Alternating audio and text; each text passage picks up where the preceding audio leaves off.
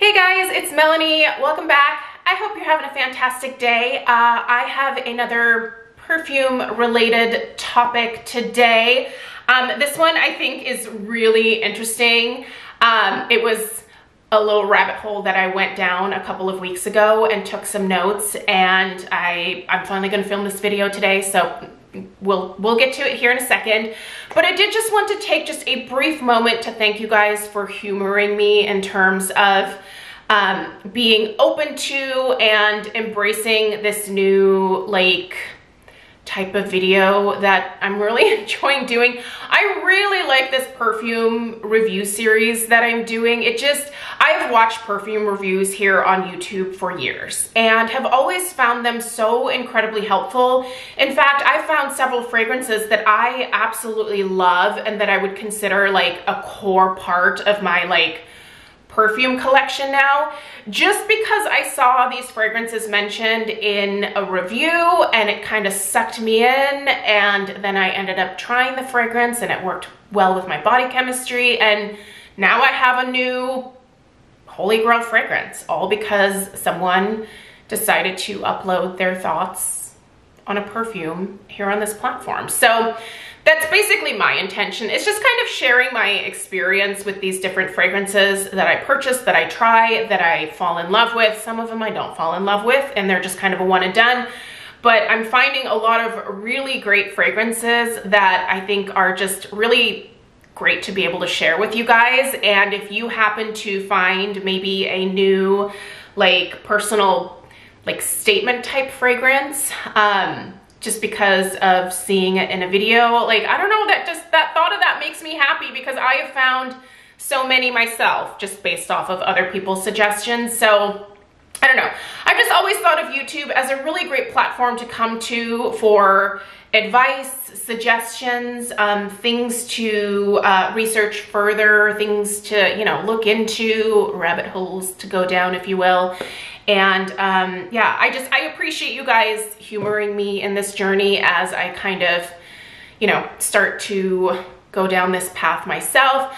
Um, who knows? I mean, I might just get bored with this four months from now and we never talk about another perfume again. But that's just kind of what my channel is. I literally just kind of tend to upload whatever floats my boat at the time. So thank you guys for going down these different rabbit holes with me. And yeah, let's just, let's talk about something uh, kind of funny today. Um, so several weeks ago, I came across an article and I'll try to remember to link it down below in the comments, but it was an article about strange perfume ingredients. So that's what we're talking about today is I found several really kind of weird what I would think of as bizarre like ingredients in perfumes. And here's the thing, a lot of the, these things that I'm gonna be mentioning um, now have a synthetic version of that original kind of maybe somewhat weird perfume ingredient. So, um, you know, it might be that your perfume contains a synthetic of this specific type of scent that I'm gonna be sharing with you guys today. And there's some weird things that people have used in the history of perfume to come up with very unique, um, beautiful fragrances, but maybe you wouldn't think they were so beautiful if you knew like the origins of of these ingredients. So that's what we're doing today. We're talking weird perfume ingredients. Now again, there might be synthetics for all of these things at this point. In fact, I know that like a couple, um, at least one of these, it is, uh, and it's the first one that I'm talking about, um, you, you, you're not supposed to actually collect this stuff from the ocean because uh, sperm whales are a protected species. So what are we talking about? We're gonna talk about the first ingredient here. Ambergris. Um, I have mentioned before where ambergris comes from, but I always feel like it's worth reiterating because it's one of those like, what? really? Again, I think, I believe there are synthetics that mimic this type of um, fragrance note at this point. So, uh, you know, I don't think you're spraying uh, whale excrement on you. And it's not even excrement. What, what is it? Okay, let's let's talk about what it is. Ambergris is um, it is a waxy substance that is found in the digestive tract of specifically sperm whales. And um, I, I think that the sperm whales can either vomit it up, but I think most frequently it is, uh, it's pooped out. It's so the sperm whale will poop out the ambergris and um, the consistency of it causes it to float. And so it just kind of, I don't think it ferments. Uh, it, just, it just ages as it floats along on the sea. And um, in the past, people have collected ambergris and used it as a pretty prominent ingredient in a lot of different perfumes. What does it smell like? In its raw form, it smells sweet and oceanic, ironically enough. Um, also, they did give some examples of a few perfumes that have some of these different ingredients in them. So an example of ambergris uh, can be found in Thierry Mugler's, uh, why do I have trouble saying? Mugler, Thierry Mugler, there we go. Um, the Alien Eau Extraordinaire, that has ambergris in it. Now, I don't know if it's actually artificial ambergris, like a synthetic ambergris, or if it's the real thing. I am not sure if the real thing is used at all, but I do know that I'm pretty sure it's illegal to even collect ambergris at this point. Because again, sperm whales are a protected marine life. So as they should be, I feel like I'd probably rather have the synthetic myself. but ambergris, there you go. That is the origin. And um, yeah, it's used in, in a Thierry Mugler perfume. So if you wear that, enjoy. All right, here's another one. Castoreum. What is castoreum from? Well, it is the secretions from the anal glands of beavers. Um, and it smells leathery and vanilla.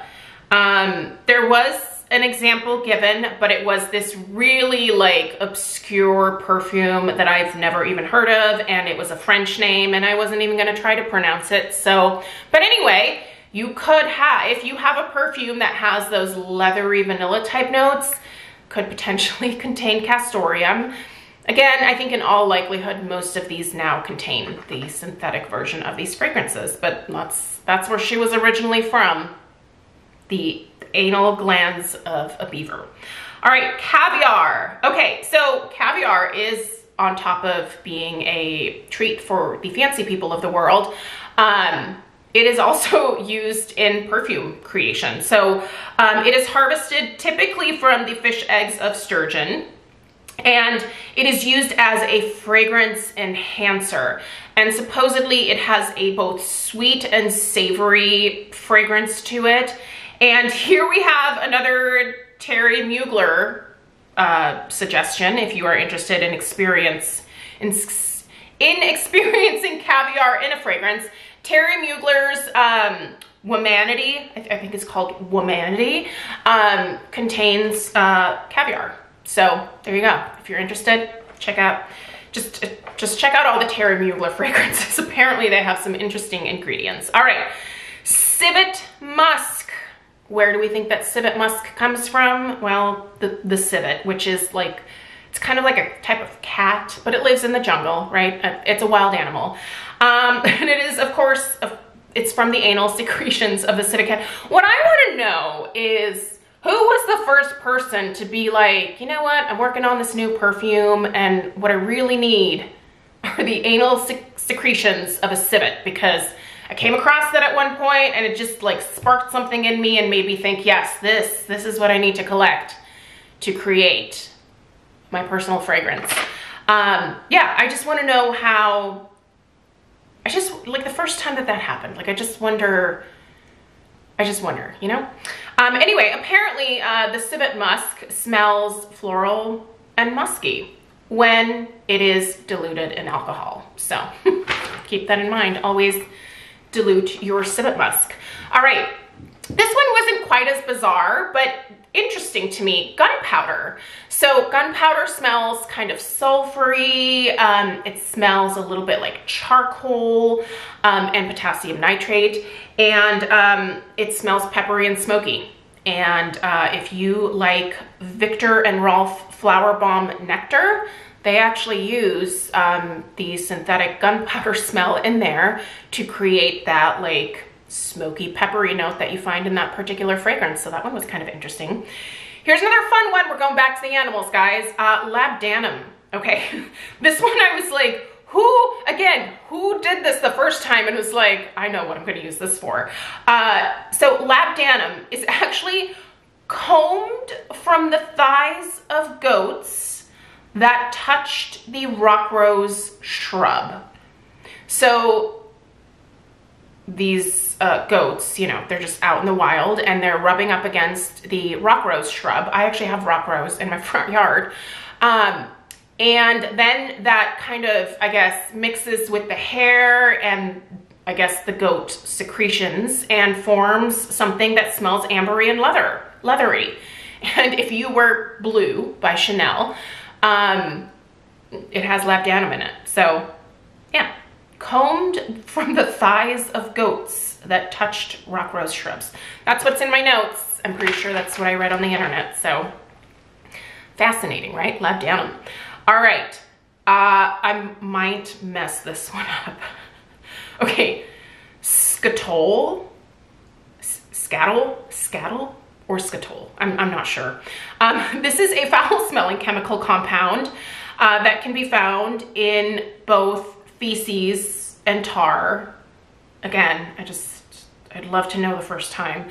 Um, it, this smells floral and natural um, when added to floral fragrances. So it just kind of enhances the, um, the notes of different flowers. So there you go. Um, also, let's, let's not only talk about the animal secretions, let's talk about human secretions because these are also used in some perfumes. Um, and I have an example here. I, again, this is a French brand, so you'll have to bear with me when I pronounce the name of it. Okay, human secretions. What has been used throughout history? Um, well, blood, sweat, spit, and urine have all been used in creating personal fragrances, which, yeah. I just, again, I think